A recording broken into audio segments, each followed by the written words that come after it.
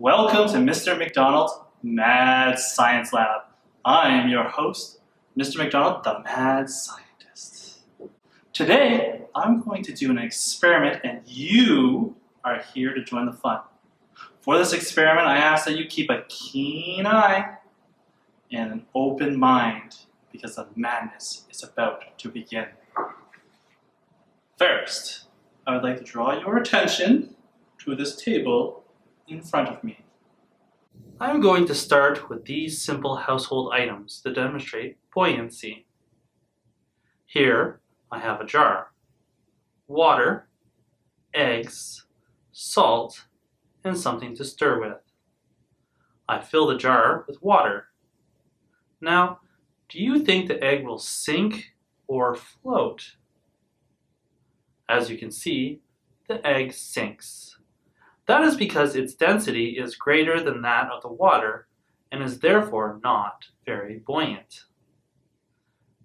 Now I will remove the egg and repeat the experiment, only this time I will add salt to the jar of water. Stir the salt so that it is fully dissolved into the water. As I put the egg back in, you can see that it floats. I have done nothing to the egg, only the material in which I immersed it. What changed to allow the egg become more buoyant? Once the salt dissolved into the water, it caused the water's density to increase so much so that the egg's density is less than the water's, making it buoyant. Now, the egg floats. Anyone who has swam in a lake and the ocean has experienced this. It is much easier to float in the ocean because its salt water's density is greater than that of a freshwater lake. Neat, huh? So now I have a question. How perceptive were you?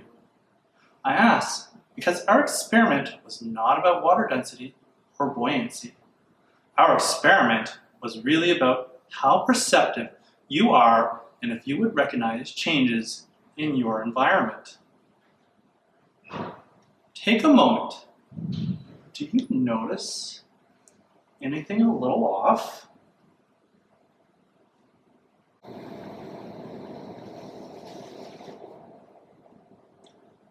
While we were playing around with water and eggs, things in the lab changed. Let me show you a before and after of my lab.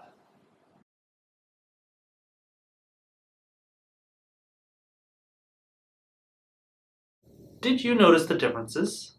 Here, let me show you. Did you notice the globe change? The books?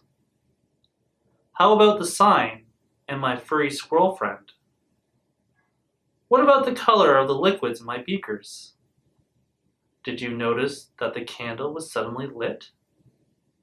What about the carton of eggs that changed from half dozen to a full dozen?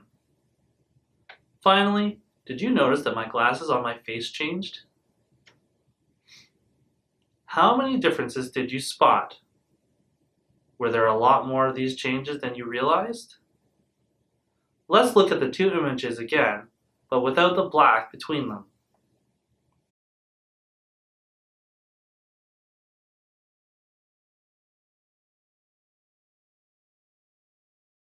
So why didn't you notice these changes the first time? It's because of something called change blindness. Our brains can only focus on one thing at a time. So while you were deciphering one experiment down here, we were able to make changes around us without you noticing. This is a brain trick called misdirection. It's a tactic that magicians use all the time. Since your brain cannot pay attention to everything at once, your brain has to prioritize. When we started this video, your brain was prioritizing what I was saying rather than memorizing what was in the background. Scientists have been studying for decades the brain's inability to keep track of changes. This is the phenomenon known as change blindness. This is the brain's failure to notice surprisingly large changes from one moment to the next. Our attention is limited. When we look at the world, we take in far fewer details than we think we do. You don't notice changes like the ones in my lab because you don't expect them to occur. You miss these sorts of changes in your everyday life. The brain is a complex thing, and there is lots more you can learn about it. For now, I hope you have enjoyed visiting my lab today. This is Mr. MacDonald saying stay perceptive, otherwise you might end up with egg on your face.